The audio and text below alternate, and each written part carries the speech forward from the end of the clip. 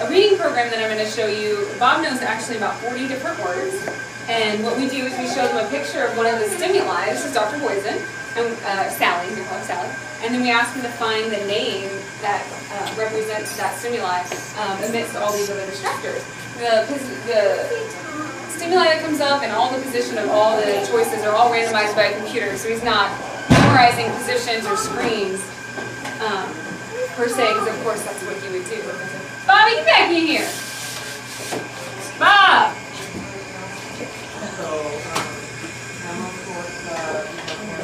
Come on, baby.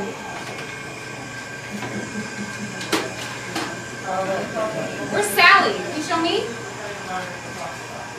You got it. No. Where's Sally? That's it. Look, it's me. Where's Clary? He likes to check it out. He's looking for the food. Yeah, if someone could shut that door, that would be great. Where's Clary?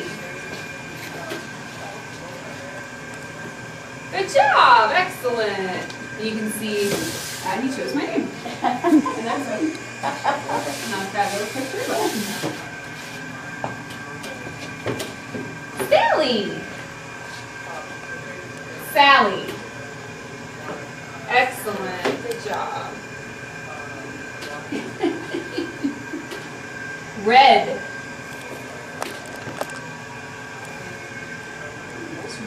That's right. So they have five different categories of stimuli. This program only has four. They know um, names, human names, food names, and color names. And we've also just started to teach them emotion terms, um, but that's not in this program. We want to keep it separate.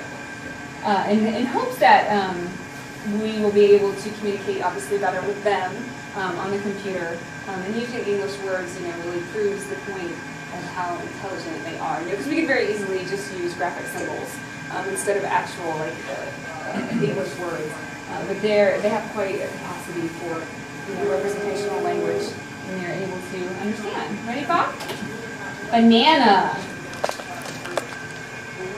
Where's banana?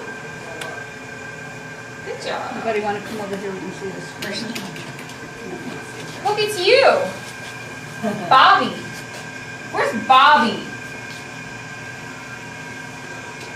That's right. Good job. Chimps do recognize themselves in a mirror.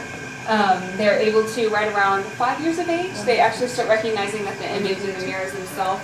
Harper is just starting to sort of understand what that is. He'll pick up a mirror and he'll look at the chimp in the mirror and he'll try to grab behind it. Sure. Does he speak sign language? No, we don't do sign language here. If you look at his hands, hey Bob, can you put your hand up, up here? but quietly. Um, he, their fingers are very, they're not meant, they're not as de- dexterous as ours.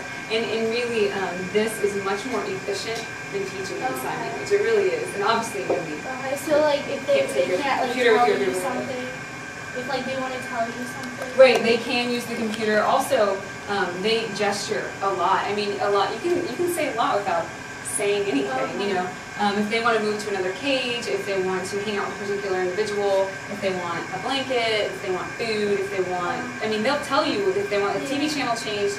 They will gesture and they will tell you, and then you ask them, you know, yes, no questions, and they answer yes or no based on their body language. So really, um, we don't need them to talk back to us. We pretty much know, you know, what's Yeah. going on, and and you know, they understand things like, oh, do you ever hurt? You know, are you Yeah. hurt somewhere? And then they'll be like, yeah, right here, right here, you know, wherever, and they'll present that body part, um, and we know then that there's something going on. But Is yeah, that- flash. Is that the, the- does he move to any place larger than that? a little In this room, yeah, all the animals have access to all the different cages. Oh, okay.